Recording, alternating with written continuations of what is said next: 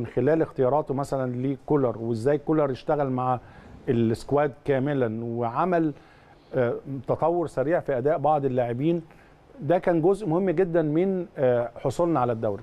أنت كابتن عمرو شايف رؤيتك ال- الشاملة للدوري المصري رغم في بعض الأخطاء في التحكيم رغم كمان الصعوبات الكبيرة اللي مرينا بيها من خلال بطولة أفريقيا كان ليها تأثير على الدوري.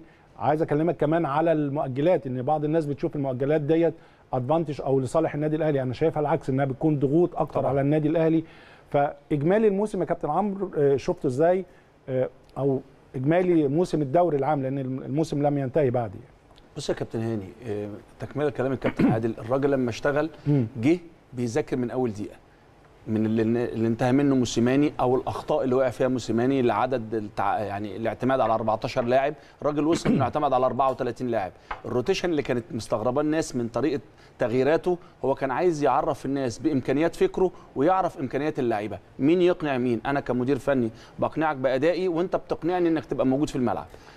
يمكن الكابتن عادل قال لعب 4 3 3 وجت وقت من الأوقات عرفنا إن مس... إن كولر غير طريقة لعب النادي الاهلي بقت 4 1 4 1 عن طريق مروان عطية.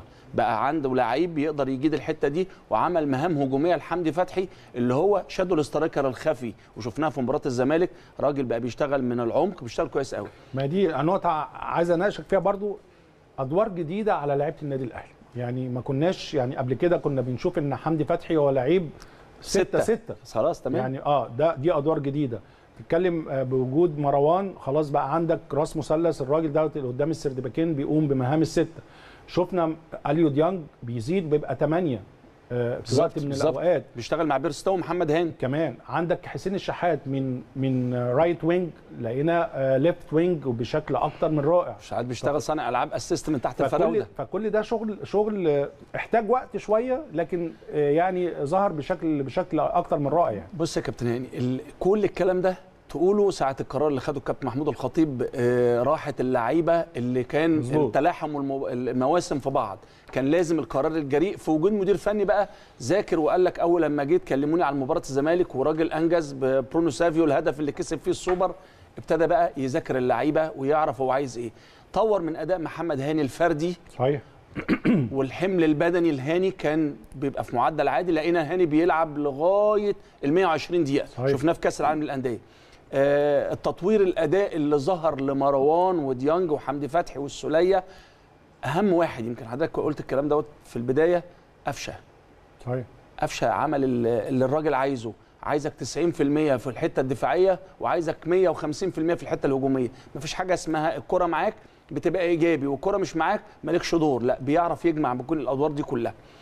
اللي كان بيخش بيبقى عارف إن الراجل ده عايز منه حاجة معينة. مفيش لاعب كان موجود مع كولر ما استفادش من إمكانيات الراجل. أشهر واحد للكلام ده هو بيرستاو. قال لك أنا عايزه أشوفه خافف تماما عنده شفاء تام من إصابته. أداؤه ما بقتش تقدر تستغنى عنه.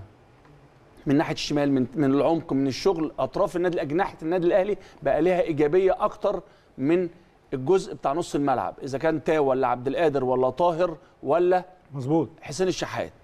في نفس الوقت الراجل قال لك أنا ارتضيت باللي موجود عندي والاستقطاب اللعيبة اللي ناقصاني وهو كان عنده ثلاث أربع لعيبة جابهم وقال لك ال forward ما كانش موجود وأما نيجي للانتقالات الصيفية أبقى أجيب ال forward اللي أنا عايزه. واقف وأقف على مستوى كل لاعب من لعيبة النادي الأهلي. قال لك الحتة الدفاعية أنا عايز اللعيبة اللي تحضر وتشتغل زي محمد عبد المنعم زي متو... زي متولي بقى في غيرة بقت رامي بقى في ياسر بقى في آه، خالد عبد الفتاح. بقى كله عايز يمسك في المكان ما يسيبوش. والراجل شغال معاه جهاز عارف يشتغل كويس قوي. اندويا بالحتة بتاعت الأحمال جامبريلي بالحتة بتاعت التثبيت ما بينه وما بين لعيبة تقريب الخطوط من بعضها وتدفئة الخطوط ببعضها. آه، ميكيلي أو ميكيري اللي هو كان بيحلل الأداء بيديله تقرير كل المنظومة يا كابتن هاني كانت للنجاح أكثر صحيح. من 150% أنا معاك وهروح للكابتن عادل. طبعا آه، كلها منظومة وكلها عملية بالظبط. عملية